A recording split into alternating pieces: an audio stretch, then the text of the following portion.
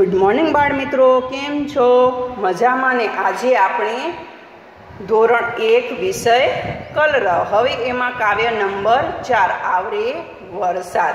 હવે એ સરસ મજાના ગીતો આપણે ગાયા અને આપણે મેઘરાજાને વિનંતી કરી કે મેઘરાજા જલ્દી આવો અને વાદળ ને પણ આપણે કીધું કે જલ્દી વરસાદ લાવો. અને કેટલા બધા શબ્દો છે એમનો પણ આપણે અભ્યાસ કર્યો. હવે આજે આપણે નંબર બે હવે અહીંયા નંબર બેમાં શું કીધું છે? ચિત્ર જુઓ અને સ્વચ્છતા વિશે સમજો.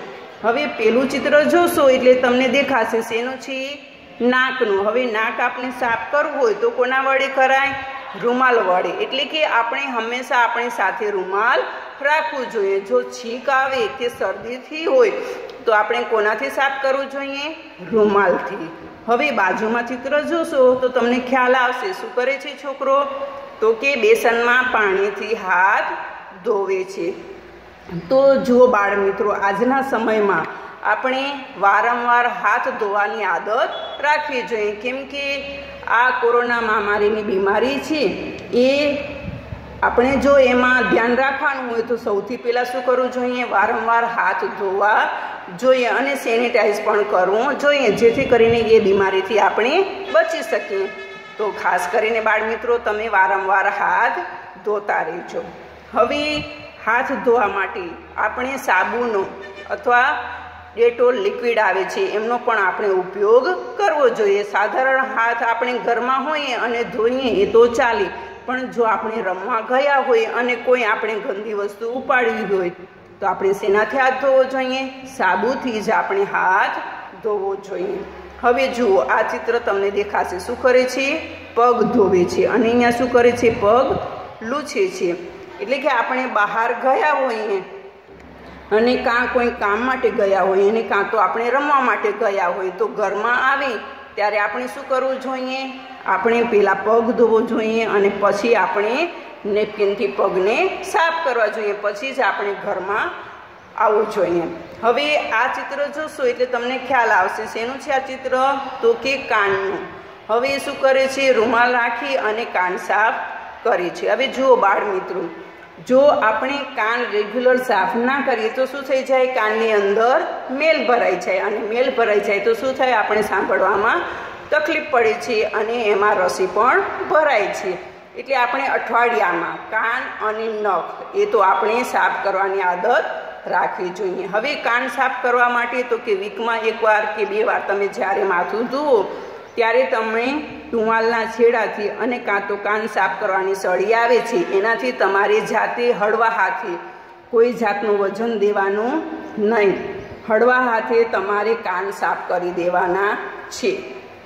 હવે અહીં જુઓ શું કરે છે? તો કે આંખો સાફ કરે છે.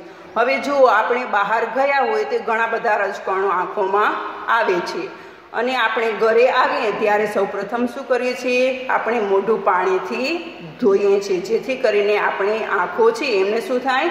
ઠંડક પહોંચી અને જે એમાં કચરો કે રજકણો ગયા હોય એ શું થાય? સાફ થઈ જાય છે. એટલે આપણે વારંવાર મોઢાને પણ સાફ કરતા રહેવું પડે. પછી અહીં શું બતાવ્યું છે? હાથમાં બ્રશ છે અને ક્યાં ફરાવે છે? દાંત ઉપર. એટલે કે આપણે સવારે ઉઠીને પહેલાં શું કરવું જોઈએ?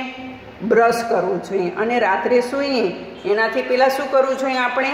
બ્રશ કરવું જોઈએ. જેથી કરીને આપણી દાંતમાં જે સળો આવે છે, એ શું કરી આપણે? અટકાવી શકીએ અને આપણા દાંત કેવા રહે? મજબૂત રહે છે. તો બાળ મિત્રો તમને આ વસ્તુનું ખાસ ધ્યાન રાખવાનું છે. જો તમે આટલી વસ્તુઓનું ધ્યાન રાખશો, તો તમે આના જેવા તંદુરસ્ત અને શક્તિવાળા બની શકશો. બનવું છે ને બાળમિત્રો તમને? તો તમે આ બધી બાબતોનું ધ્યાન રાખજો. હવે નીચે શું કીધું છે? ત્રણ અભિનય કરો. શેનો અભિનય કરવાનો છે?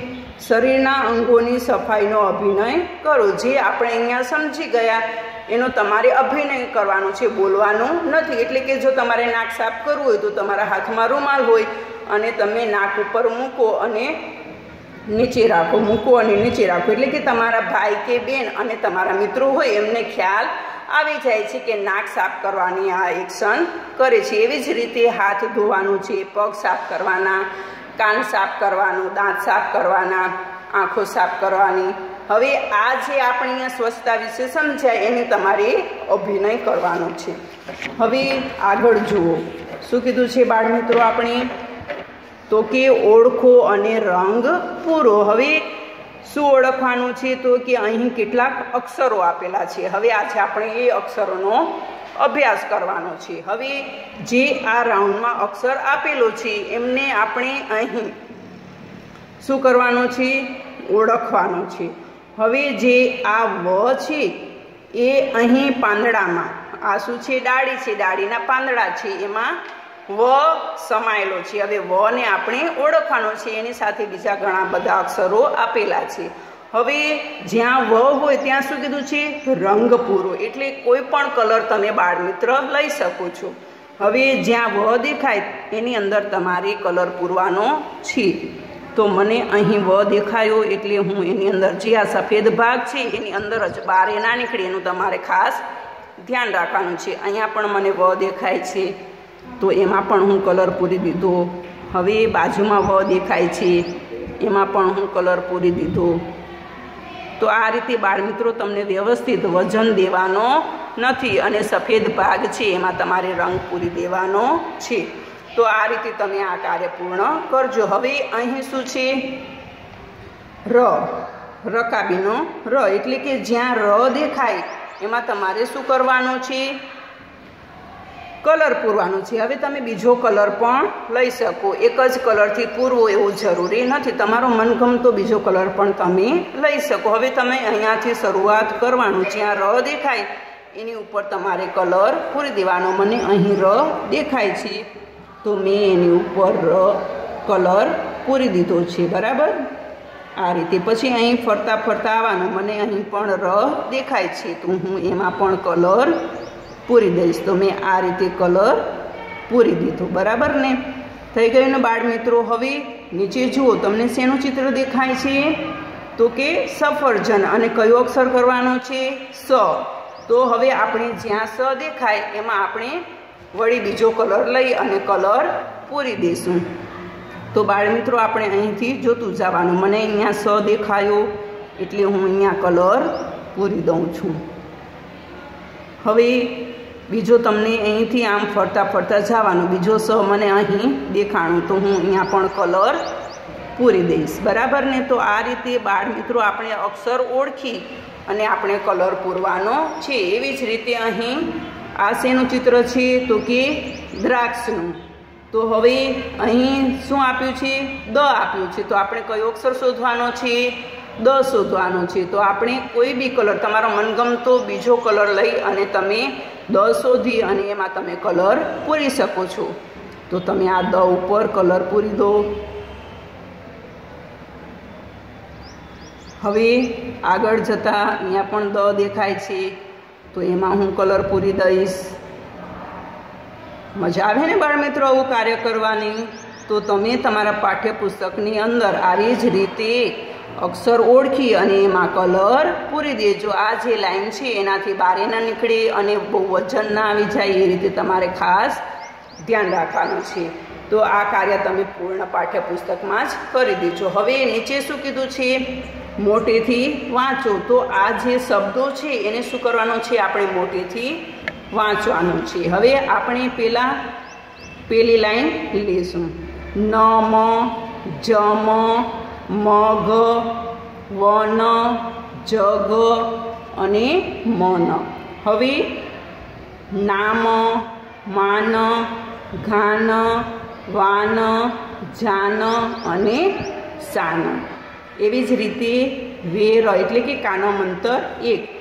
વેર, દેવ, મેના, રમે, જમે અને નમે. આ રીતે આપણે વાંચન કરવાનું છે. તો બાળમિત્રો, તમે તમારા પાઠ્યપુસ્તકની અંદર આ પ્રવૃત્તિ પૂર્ણ કરજો. આગળ આપે જે સફાઈનો સમજી ગયા એનો અભિનય કરજો. અને આ અહીં જે શબ્દો આપેલા છે, એ શબ્દો તમે નોટબુકમાં બે વખત લખવાના છે. તો તમે સારા અક્ષરે બોલી અને નોટબુકમાં લખવાના છે એટલે કે વાંચન કાર્ય અને લેખન કાર્ય સારું થાય એટલા માટે આપણે આ કામ કરવાનું છે. અસ્તુ.